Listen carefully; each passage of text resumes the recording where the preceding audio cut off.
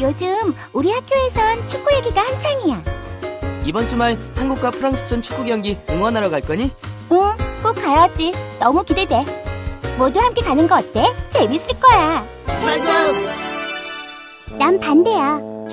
어? 어차피 너무 강적이라 질 게 뻔한 걸? 으, 해보지도 않고 어떻게 알 수 있니? 안 봐도 뻔해. 너희들이나 실컷 응원하렴. 네. 전국에 계신 축구팬 여러분, 여기는 한국팀과 프랑스팀이 경기를 펼치고 있는 축구 경기장입니다. 관중석에서는 프랑스팀의 응원단들이 열띤 응원을 펼치고 있군요.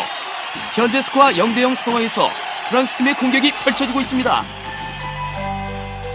사실 난 축구 경기를 너무 좋아하지만 조마조마해서 도저히 보고 있을 수가 없어. 한국팀 수비가 뚫렸습니다. 전진하는 프랑스 공격. 이것 봐. 어떡하지? 우리 선수들이 너무 지쳐 보여. 우리가 힘껏 응원해주자.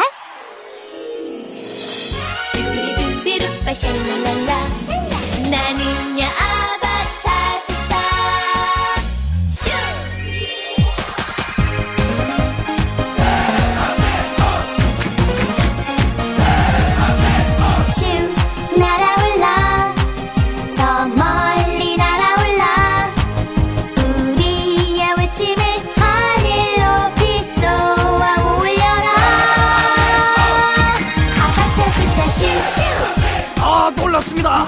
지쳐있던 한국팀이 어디서 다시 저런 힘이 나오는 걸까요? 프랑스 수비수를 제치고 골문앞까지 온 한국팀 슛! 뿌리!